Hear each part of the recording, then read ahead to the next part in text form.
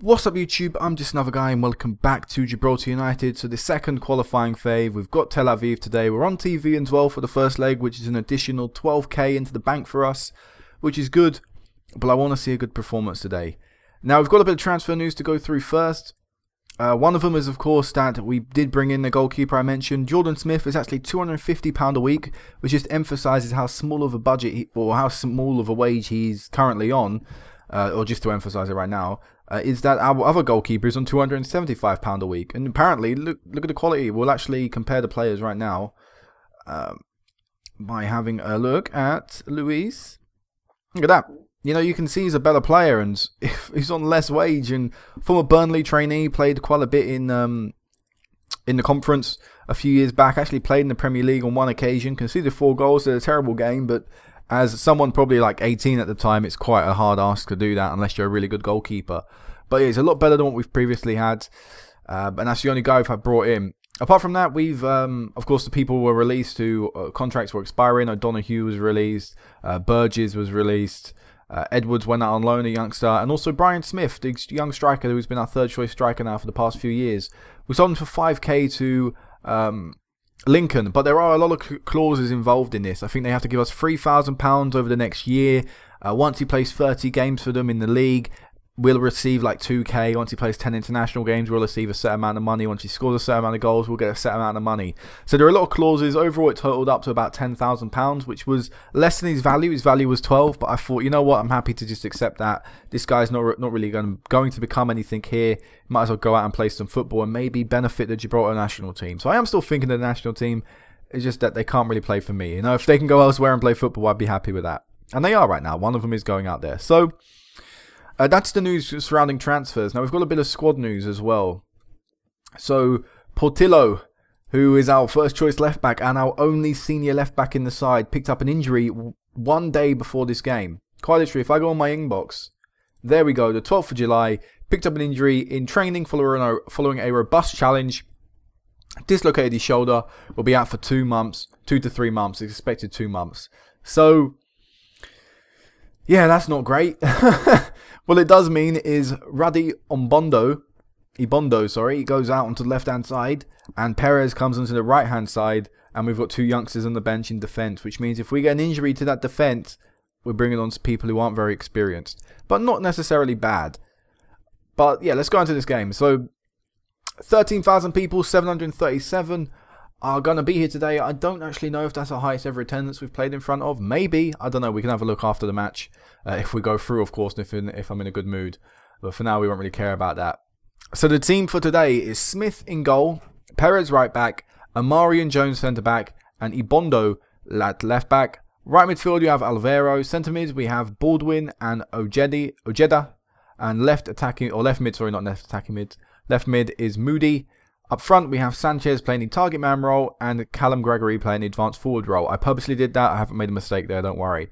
Uh, this is the 4-4-2 Gibraltar Europe. While it is, I decided to go 4-4-2 this year. I just decided that's best to do. We should go out there, play our game, and you know, let's see what we do. We had a decent second leg against TNS before when we played 4-4-2 against Tel Aviv a, a few years back. We only lost 1-0. Who's to say we can't do it now with a better team? We've got a counter mentality on with a flexible team shape. Team instructions are to retain possession, whip crosses in, play wider, drop deeper, get stuck in, close down more, and lower the tempo. Uh, in terms of player instructions, we've got a few on. Goalkeeper has just got to distribute to fullbacks to roll it out. Uh, both fullbacks have to shoot less often and run wide with ball. Centre backs have nothing. Uh, wingers both have to cross uh, to close down more often and cross aim for far post. Both of them have that on. Uh, deep line playmaker has to close down more. Apart from that, he's got nothing. Uh, yeah, I'm happy with that actually, yeah. Uh, advanced playmaker has to close down more, roam from position, and also cross more often when he's out wide. Our target man has been told to close down more and to move into channels. Uh, I chose Sanchez because I just feel he's a better target man, and I'd rather have a really good target man than a really good advanced forward. And also advanced forward in Callum Gregory, we have him to close down more and to hold up the ball because he is a target man as well, partly, which means he should do the job of holding up the ball pretty well. So the bench as well is Santos Lewis, Lee Clark, Stefan Bolestro, Sean Montgomery, Wayne Owens, Terry Brown, and Jason Coling. let's jump into this. Let's go in. Let's see what we can do. Three numbers are being handed out today. Moody can pick up number 21. Uh, Clark can pick up, or Smith can pick up 13. And Clark can pick up 23. Let's go. Let's see what we can do. Come on, Gibraltar United. Let's do this.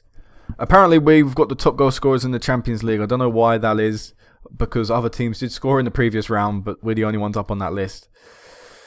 Um, he thinks Tel Aviv have enough to secure a win against Gibraltar United. They feel the absence of Castro and Portillo are going to be hard hit for us. So, they've gone that way with a 5-3-2. We're going to, let me just apply the advice of you and see what you will do. I like what you do. Uh, fly, do the assistant, do that. And let's go. Let's do this. Champions League, second qualifying phase. Tel Aviv, five years since we last played them. Let's see what happens. See if we pull up a better a fight.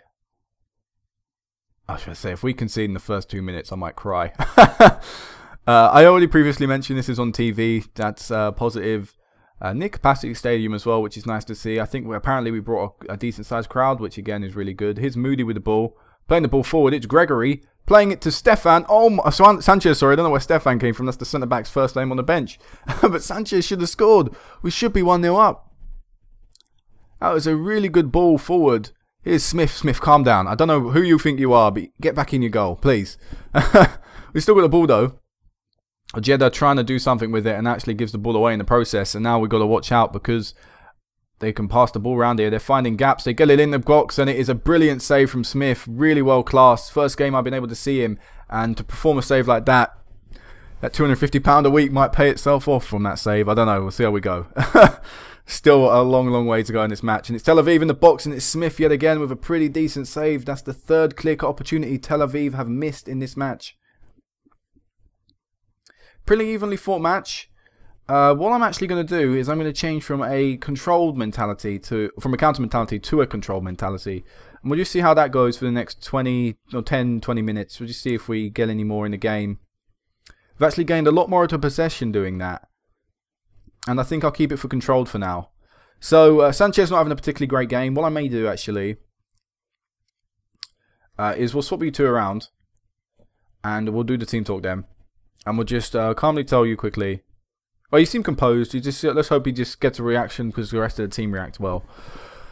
But second half, nil nil still away from home. I mean, you could argue it's, it's good because we've not conceded, but away goals are crucial in the Champions League, and we ideally need one. Here's Moody. Ah, oh, Moody, I would have expected you to get that. They've got the ball in the box yet again, and they do manage to thump this one home. They managed to get the goal they've been after. 1 0 in the 54th minute. Not really been able to pose much of a threat us. Um, I, was thinking maybe I'll go attacking for a spell. I might go attacking for a spell. Um, 55 minutes into the game, we'll go attacking. Uh, we'll have a look at how that does on the match stats. Of course, if there are a load of highlights for Tel Aviv, we know to change it ASAP. Let's hope we don't concede here. Actually, Alvaro gets a block in, but it's not enough to win the ball back. And the ball's whipped in, and it is Smith yet again with a good save. Then balls are coming in dangerously from the wings, and it is Smith time and time again now saving us from them opportunities. Uh, we'll bring Coling on because Sanchez isn't having a good game. We'll take Moody off and bring Owens on. And we'll bring Terry Brown on as well. We'll bring on the three lads who have played for this club before. Since going attacking, we've actually not looked too badly. In fact, let me cancel these changes quickly because we've got a highlight here. Let's see what we can do with it. Here's Moody with the ball. Uh, running with it. Not doing too badly. Brilliant ball over the top there to Alvaro. Been brought down in the box. It's a penalty. Gets in there. We've got a penalty. Who's taking it? I changed the penalty taker. I think it is still Sanchez because I don't think my, my two first choice penalty. Actually, no, it will be Ojeda, won't it? Yeah. Ojeda. Oh my god! Ah! Oh, ah! Oh, I changed it before the game. Are you joking me, Ojeda? I was just about to take you off, and you've got an. Ah! Oh, are you joking me? Things like that. I know you people regret things like that. Especially in cup competitions like this, penalty misses are crucial. You always look back and go, that's the that's where the you know you could have won the game. That's where you could have changed the outcome. Oh no no fucking deflection. God damn it. Ah.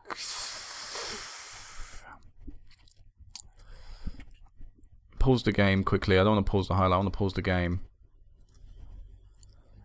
Push forward.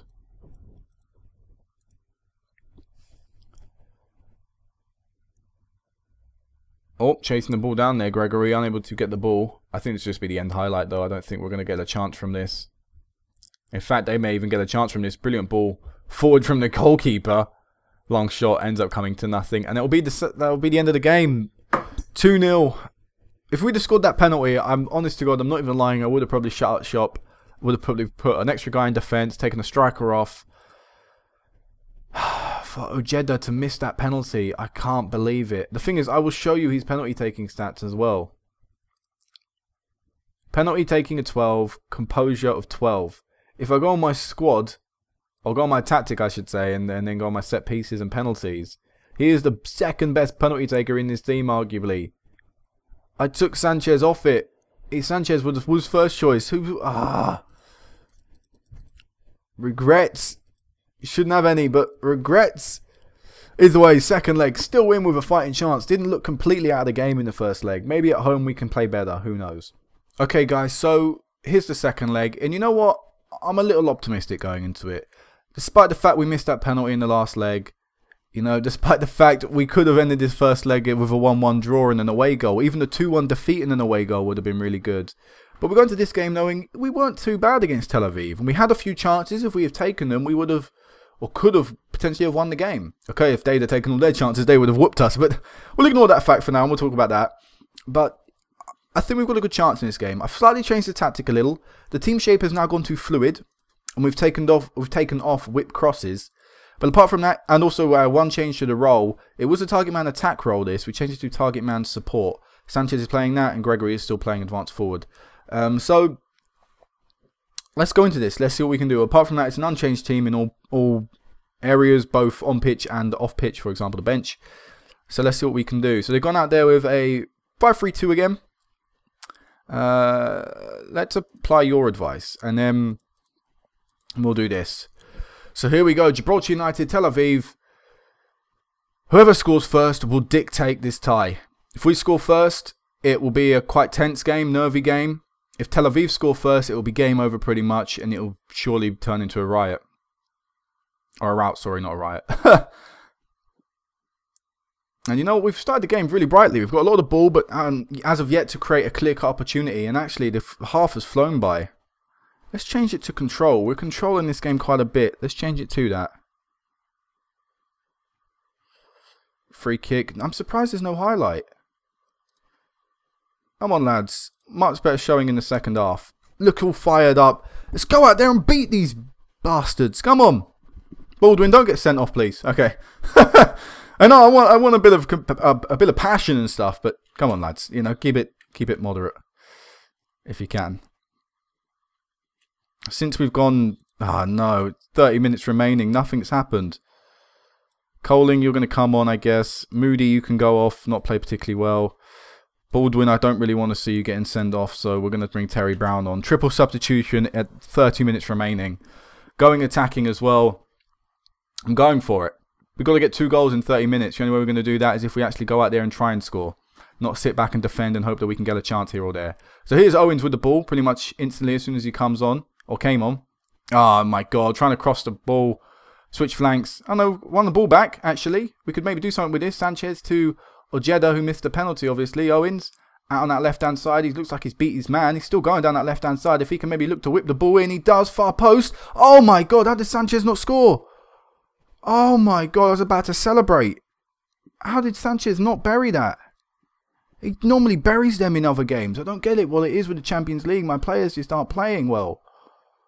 They're just not taking their chances when they come. But yeah, in the Gibraltarian Premier, in the Gibraltar Premier League, bang, that's a goal. Bang, that's a goal. Bang, that's a goal. It's just so simple for them. Overload. Last 13 minutes of the game. It's been a very boring second leg. But we've got to go for it. You know what? Team talk as well. Passionately push forward. It should probably be pointless now. Yeah, pointless. they scored. They scored. And that's us out of the tournament. Ah, we had to get one of the tougher teams. We had to miss that penalty. We had to waste our chances.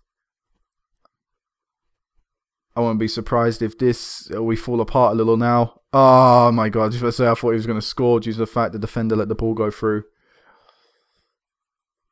Brown winning. Ah, oh, I just say Brown winning the ball back could maybe get a goal, equalise this game up, get a draw on the leg, but I don't think it's going to happen. In fact, this looks like it's going to be two. Good challenge there, actually, really good challenge. Coling with a ball with the ball. Play it to Sanchez. Play it out wide. He does see the ball out wide to Alvaro. Whip this one in. Plays the ball to Sanchez. Ah, another chance missed. Ojeda with the corner. At least he can direct his corners goalwards, unlike his penalties. I will not live that down. That is one of them moments you regret. Like me last season playing the wrong formation. Ah, oh, they score again. But me playing the wrong formation in the first leg, I regret that. This year, I. Uh, this year, it's just really we played a better team. I think we didn't play particularly well in the first leg really not not anything spectacular. This game either we're not exactly playing well. We've missed chances, you know, two click opportunities wasted, three half chances not taken either. You could argue that we you know should have scored, but our strikers weren't on it for the day, especially Sanchez, who I'm relying a lot on today due to the fact um, Castro's out injured, and he's not lived up. If only we made you know a lot of what ifs we've lost today, but a lot of what ifs are currently surrounding me. What if my two players who are currently out injured, my left back and my striker, what if they had been in? What if they had been fit, and we'd have played these guys? Would we have scored a few more goals? Would we have conceded all them goals? I don't care about Coling, he rarely plays anyway. What if I hadn't changed the penalty taker? Would we have won that game? Would we, you know, would we have scored that penalty? So many ifs, so many whats, but sadly we were, we'll never find out. So we've got £906,000 in the bank. Now, that's not really sustainable, and the reason I say that is because last year we lost around £500,000.